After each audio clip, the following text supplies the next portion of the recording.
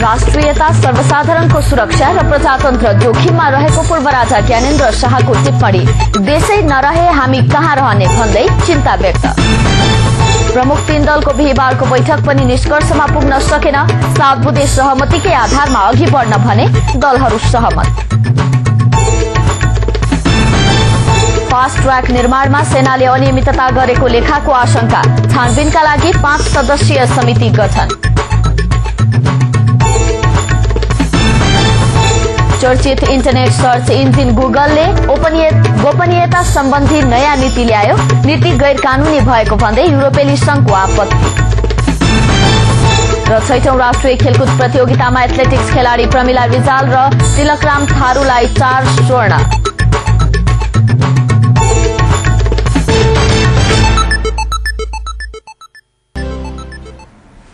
नमस्कार म सुनिता पोखरेल खबरको सिलसिला प्रारम्भ गरौं पूर्व राजा ज्ञानेन्द्र शाहको भनाई सम्बन्धी प्रसंगबाट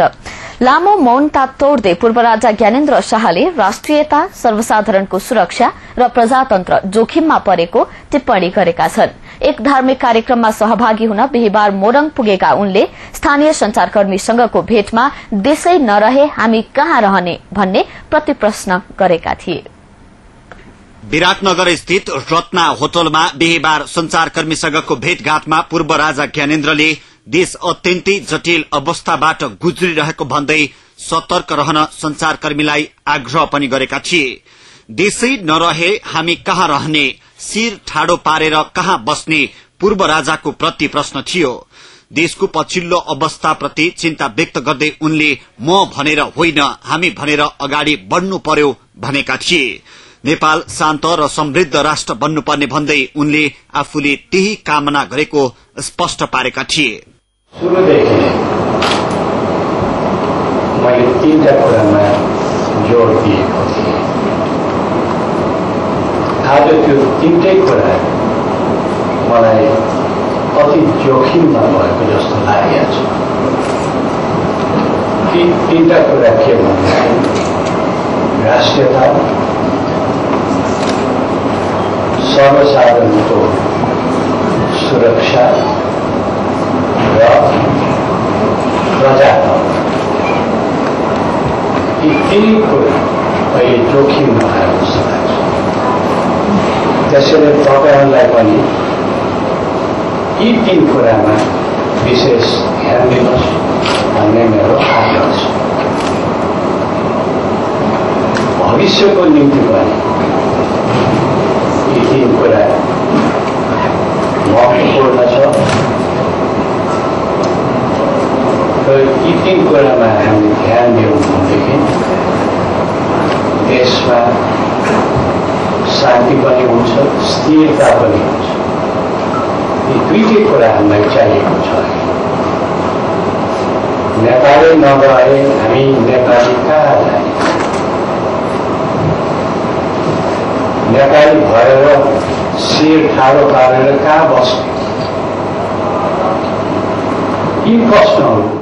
संचार कर्मीसँगको भेटघाट लगत्तै पूर्व राजाले नागरिक समाजका स्थानीय प्रतिनिधि र बुद्धिजीवीसँग पनि भेटघाट गरेका थिए यसअघि सुनसरीको भाषी गाविसको झुम्का बजारमा आयोजना गरिएको नौ दिने भविष्य पुराणको वैदिक परम्परा अनुसार उद्घाटन गरेपछि त्यहाँबाट फर्किने क्रममा गाड़ी चढ़न लाग्दा सर्वसाधारणले मुलुकमा कहिले शान्ति आउँछ भन्ने प्रश्न गर्दा उनले छिट्टै मात्रै भनेका थिए संचारकर्मीले प्रतिक्रियाको अपेक्षा गरे पनि बोलाएरै आफ्ना कुरा राख्ने भन्दै उनी त्यहाँबाट निस्किएका थिए यसअघि पूर्व राजा ज्ञानेन्द्र शाहले नेपालमै पहिलो पटक सुनसरीको झुम्कामा आयोजित भविष्य पुराणको उद्घाटन गरेका थिए साढे दस बजे विराटनगर विमानस्थलमा अवतरण गरेपछि हजारौंको मोटरसाइकल र्याली र स्कटिङ सहित उनी इटहरी हुँदै पुराणस्थल झुम्का पुगेका थिए विराटनगर हुँदै झुम्का जाने क्रममा विराटनगरमा ठूलो संख्यामा उपस्थित भएका मानिसले पूर्व राजा ज्ञानेन्द्रको भव्य स्वागत गरेका थिए भने राजा आऊ देश बचाउ लगायतका नारा लगाइएको थियो झुम्का जाने क्रममा दुहबे खनार र इटहरीमा केही बेर रोकिएर पूर्व राजाले स्थानीयवासीसँग कुराकानी गरेका थिए इटहरीमा उनी केही बेर पैदल हिँडेका थिए इटहरी बजारमा उनको समर्थनमा उर्लिएको भीड़ नियन्त्रण गर्न प्रहरीलाई हम्मे हम्मे परेको थियो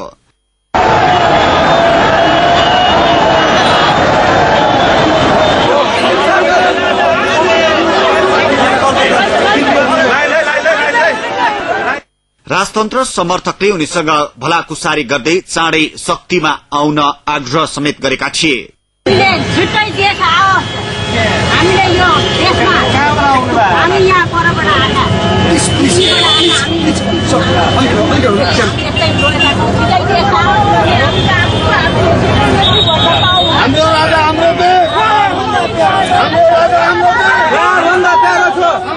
कार्यक्रम स्थलमा विभिन्न स्थानबाट आएका साधु सन्त र महन्तले पूर्व राजा ज्ञानेन्द्रलाई भेटी धार्मिक परामर्श गरेका थिए राज संस्थाको पतनपछि औपचारिक कार्यक्रममा सहभागी हुन पूर्वी नेपाल पुगेका उनलाई स्वागत गर्न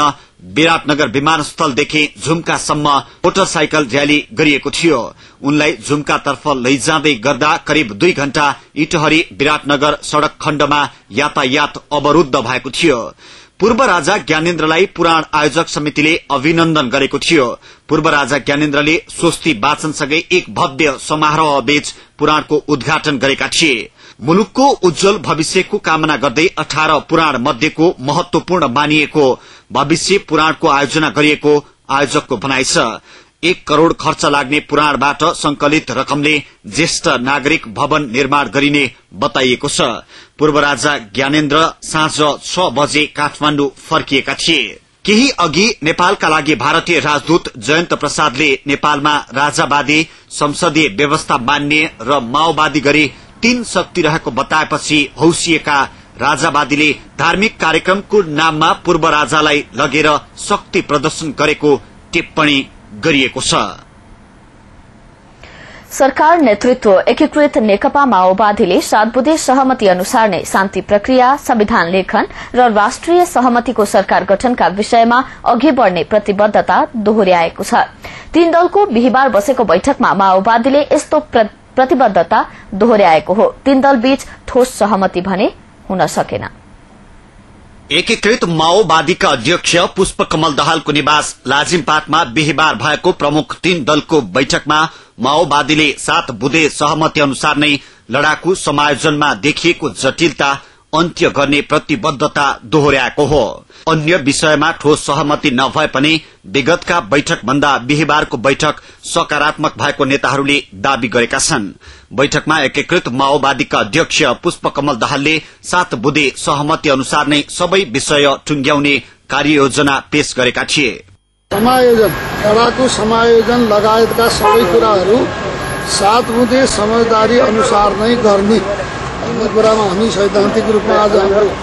सहमति फेरि भएको छ अब त्यसअनुसार चाहिँ नि अब अझ चाहिँ आफ्ना आफ्ना कुराभित्र मिलाएर आउने कुरामा चाहिँ नि भोलिको दिनलाई हामीले ज्ञाप राखेका छौँ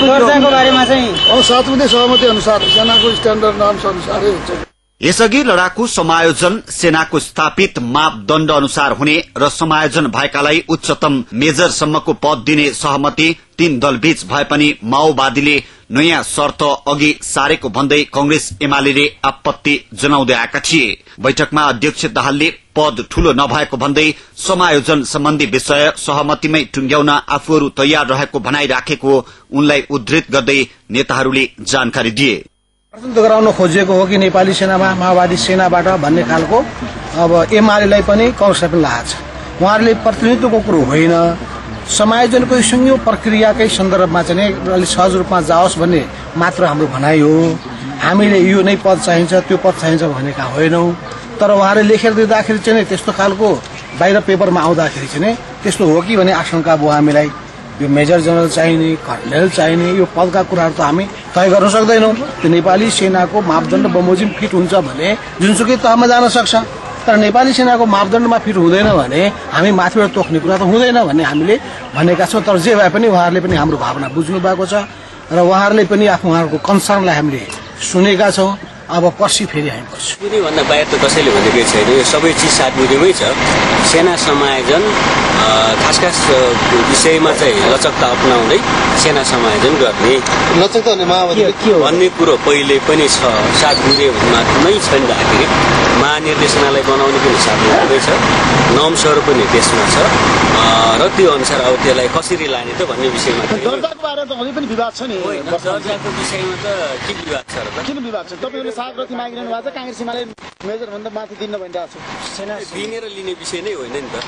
सागबुदीमा पनि के भन्छ नम्सहरू बेसिकल्ली सेनाको फलो गर्ने बाँकी केही विषय चाहिँ नेतृत्वले टुङ्गो गर्ने सागबुदी हेर्नुहोस् न त्यही नै छ त्यसमा त्यो टुङ्गो बारे प्रस्ताव आएको छ त्यसमा सकारात्मक टिप्पणीहरू पनि छन् बैठकमा प्रमुख तीन दलका शीर्ष नेताले गतिरोध अन्त्यका लागि आफूले पाएको जिम्मेवारी अनुसारको मौखिक प्रस्ताव पेश गरेका थिए तीन दलको अघिल्लो बैठकले माओवादी अध्यक्ष दाहाललाई शान्ति प्रक्रिया एमाले वरिष्ठ नेता माधव कुमार नेपाललाई संविधान लेखन र कंग्रेस सभापति सुशील कोइरालालाई सत्य निरूपण तथा मेलमिलाप र बेपत्ता छानबिन आयोग गठनबारे सहमतिको प्रस्ताव ल्याउने जिम्मेवारी दिएको थियो बैठकपछि माओवादी वरिष्ठ उपाध्यक्ष मोहन वैद्यले कंग्रेस एमाले पहिले समायोजन टुंगिनु पर्ने र त्यसपछि मात्र अन्य विषयमा प्रवेश गर्ने भनेकाले सहमति हुन नसकेको बताए संविधान लगायतका विषयमा प्रवेश गर्न सकिन्छ भन्ने खालको कुरा राख्नुभयो त्यो उहाँहरूले पहिल्यैदेखि राख्नुभएको थियो र हामीले के भन्दाखेरि यो प्रक्रिया सँगसँगै जानुपर्छ भन्ने हिसाबले कुराकानीहरू भयो त्यस कारणले के हो भनेदेखि त्यही विषयमा अब चिजहरू अगाडि बढ्नु सकेन केही माग छोडिएको छैन एकदम केही माग छोडिएको छैन कुन अब कुन नेताले अब कुन पार्टीका नेताले के के भन्नुभयो म पनि सँगै छु त्यस कारणले हामीले केही छोडिएको छैन हामी आफ्नो अडानमा छौँ उहाँहरू आफ्नो अडानमा हुनुहुन्छ त्यस कारणले आफ्नो पार्टीमा बसौँ आफ्नो पार्टीमा बसेर सल्लाह गरौँ अनि त्यसपछि फेरि बसौँ भन्ने सल्लाह भयो त्यस कारणले हामीले छोडेका छौँ बैठकमा माओवादीले भने शान्ति संविधान र राष्ट्रिय सरकार गठनलाई एकैसाथ अगाडि बढ़ाउनु पर्ने प्रस्ताव गरेको थियो शुक्रबार पुनः बस्ने तीन दलको बैठकमा नेताहरूले पेश गरेका मौखिक प्रस्ताव उप थप छलफल हुनेछ प्रस्तावमा दलहरूभित्रै पनि सहमति जुटाउनु पर्ने आवश्यकता देखिएकाले बिहिबार आन्तरिक रूपमा छलफल गरेर शुक्रबार तीन दलको बैठक फेरि बस्ने भएको हो खबरको सिलसिला अझै जारी छ हामीसँगै रहनुहोला र एभिन्यू च्याट खबरमा हुनुहुन्छ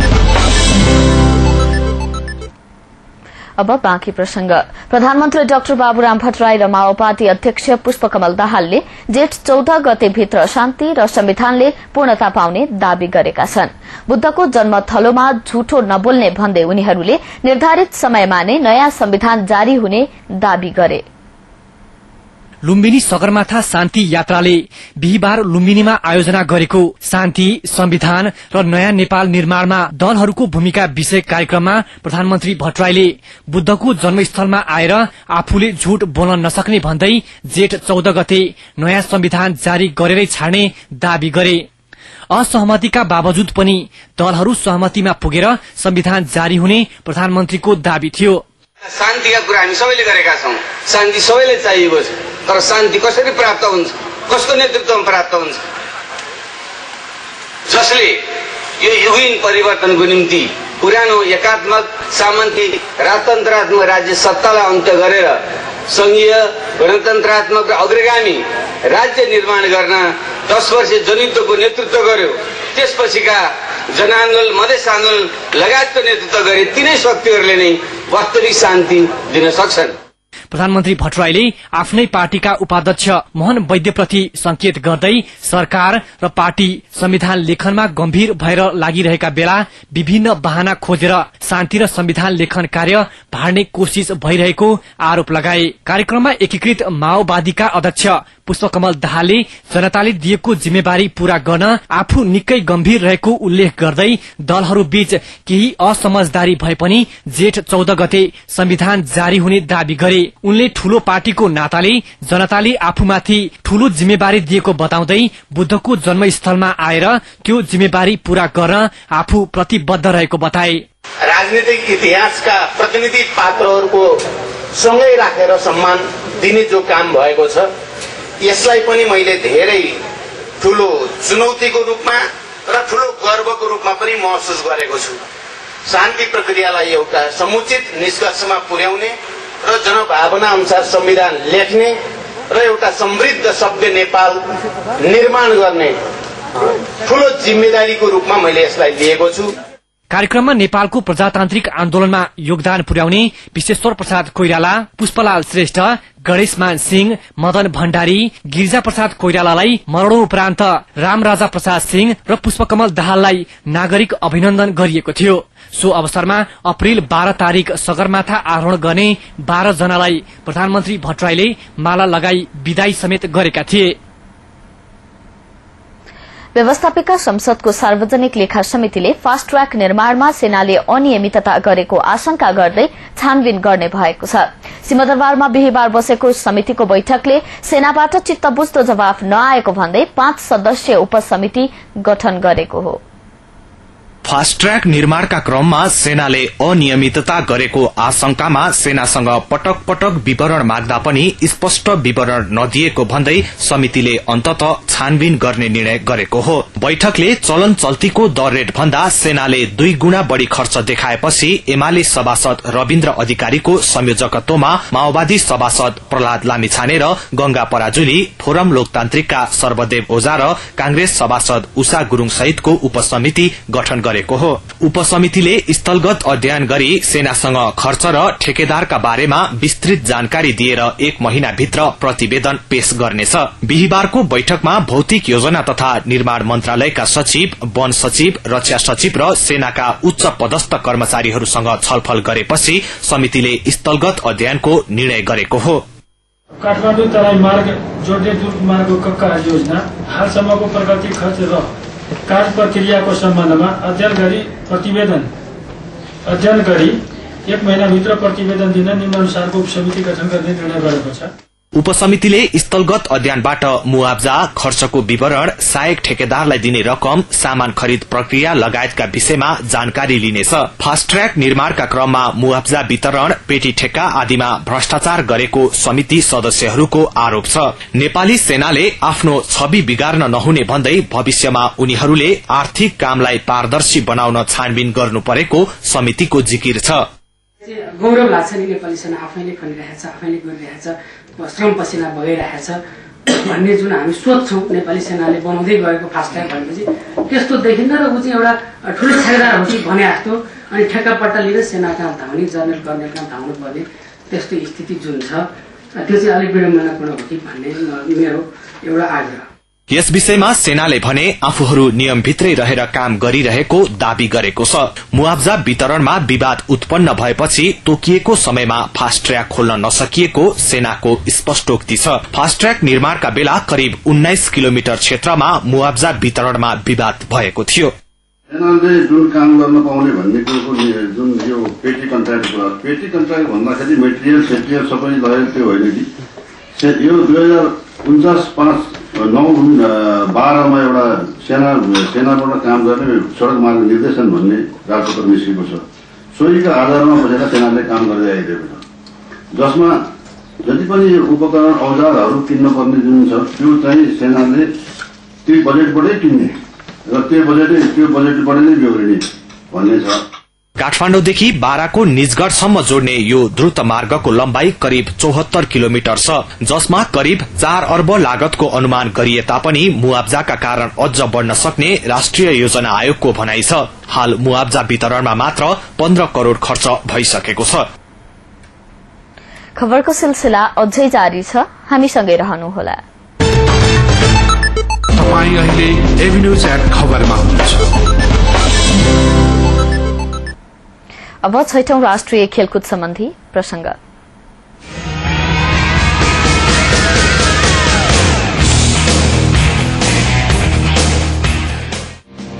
राष्ट्रिय एथलेटिक्स प्रतियोगितामा नेपाल प्रहरीका तिलकराम थारू र सशस्त्र प्रहरी बलकी खेलाड़ी प्रमिला रिजाल कुल चार स्वर्ण पदक जित्न सफल भएका छन् बिहिबार तिलकराम थारूले दुई सय मिटर पुरूष दौड़मा स्वर्ण पदक जितेका छन् तिलकले बाइस दशमलव तीन सेकेन्डको टाइमिङमा स्वर्ण पदक जितेका हुन् पश्चिमाञ्चलका विमल बस्ने दोस्रो र मध्यमाञ्चलका रोशन पाण्डे तेस्रो पाएका छन् दुई सय मिटर दौड़मा स्वर्ण जित्दै तिलकले स्वर्ण संख्या तीन पुर्याए भने चार गुणा चार सय मिटर रिलेमा पनि तिलक सम्मिलित नेपाल प्रहरीले स्वर्ण पदक जित्दा उनले प्रतियोगिता अवधिभर चारवटा स्वर्ण पदक जितिसकेका छन् चार गुणा चार सय मिटर रिलेमा नेपाल प्रहरीले पहिलो स्थान प्राप्त गर्दा सशस्त्रले दोस्रो र पश्चिमाञ्चलले तेस्रो स्थान प्राप्त गरेको छ तिलकराम थारूले जस्तै प्रमिला रिजालले पनि बिहिबार दुई स्वर्ण पदक जितेकी छिन् प्रमिलाले बिहिबार पहिलो स्वर्ण दुई सय मिटर दौड़मा हात पारिन् छब्बीस दशमलव नौ सेकेण्डको टाइमिङमा निर्धारित दूरी तय गर्दै प्रमिलाले दुई सय मिटर दौड़मा स्वर्ण पदक जितेकी थिइन् नेपाल प्रहरीकी सावित्री नेपालीले दोस्रो स्थान प्राप्त गर्दा नयाँ दुईवटा राष्ट्रिय रेकर्ड कायम गर्न सफल सविता चौधरीले यो स्पर्धामा भने तेस्रो स्थानमै चित्त बुझाएकी छिन् प्रमिलाले बिहिबार अर्को स्वर्ण चार गुणा चार सय मिटर रिलेमा प्राप्त गरेकी छिन् यसरी प्रमिला पनि प्रतियोगिता अवधिभर चारवटा स्वर्ण पदक जित्न सफल भइसकेकी छिन् चार गुणा चार सय मिटर रिलेमा सशस्त्रले स्वर्ण पदक जित्दा प्रहरीले रजत र पश्चिमाञ्चलले काँस्य पदक जितेको छ प्रतियोगिताको पाँच सय मिटर महिला दौड़मा मध्यपश्चिमाञ्चलकी विश्वरूपा बुढाले स्वर्ण पदक जितेकी छिन् उनले अठार मिनट बीस दशमलव छ सेकेन्डको टाइमिङमा स्वर्ण पदक जितेकी हुन् विश्वरूपा बुढाको जारी राष्ट्रिय प्रतियोगितामा यो दोस्रो स्वर्ण पदक हो यसअघि उनले दस हजार मिटर दौड़मा पनि स्वर्ण पदक जितेकी थिइन् सशस्त्रकी गीता खत्रीले रजत पदक जित्दा मध्यपश्चिमाञ्चलकी पुष्पा भण्डारीले काँस्य पदक जितेकी छिन् यो स्पर्धाकी चर्चित खेलाड़ी कान्छीमाया कोजुले भने चोटको कारण रेस पूरा गर्न सकेनन् कान्छीमाया कोजुले चार लाख अगाडि अगाडि नै रेस छोडेकी थिइन् महिला लङ जम्पमा राष्ट्रिय धारी खेलाड़ी केशरी चौधरीलाई पराजित गर्दै पश्चिमाञ्चलकी कृष्णा चौधरीले स्वर्ण पदक जितेकी छिन् कृष्णाले चार दशमलव आठ पाँच मिटर जम्प गर्दै स्वर्ण पदक जितेकी छिन् नेपाल प्रहरीकी केशरी चौधरीले भने चार दशमलव सात सात मिटर जम्प गर्दै दोस्रो स्थानमै चित्त बुझाएकी छिन् केशरी लङ जम्पकी राष्ट्रिय कीर्तिमानधारी खेलाड़ी हुन् भने पाँचौं राष्ट्रिय प्रतियोगितामा पनि केशरीले नै स्वर्ण पदक जितेकी थिइन् तर यो पटक भने रजतमै समेटिएकी छिन् मध्यमाञ्चलकी मीरा खड्काले तेस्रो स्थान प्राप्त गरिन् पुरूषतर्फ भने यम साजन सुनवारले स्वर्ण पदक जितेका छन् मध्यपश्चिमाञ्चलका यम साजनले छ दशमलव पाँच पाँच मिटर जम्प गरेका थिए प्रहरीका खेलाड़ी विद्याधर चौधरीले दोस्रो र पूर्वाञ्चलका खेलाड़ी देवेन्द्र चौधरीले तेस्रो स्थान प्राप्त गरेका छन्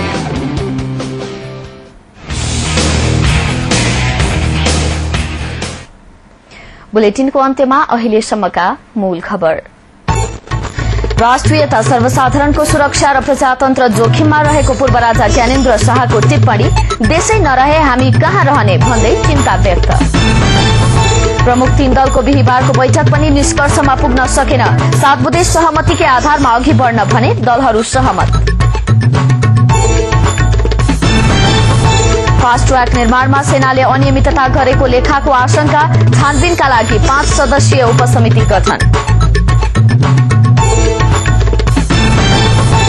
चर्चित इन्टरनेट सर्च इन्जिन गुगलले गोपनीयता सम्बन्धी नयाँ नीति ल्यायो नीति गैर कानूनी भएको भन्दै युरोपेली संघको आपत्ति र छैठौं राष्ट्रिय खेलकुद प्रतियोगितामा एथलेटिक्स खेलाड़ी प्रमिला रिजाल र तिलक राम थारू चार स्वर्ण जित्न सफल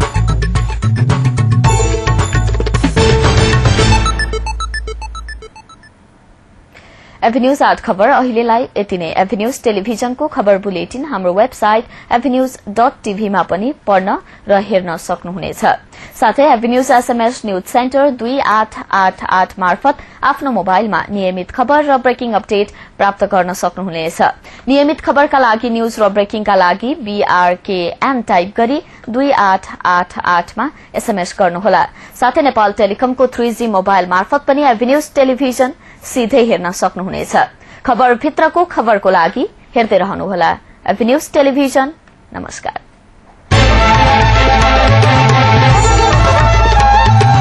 Thank you.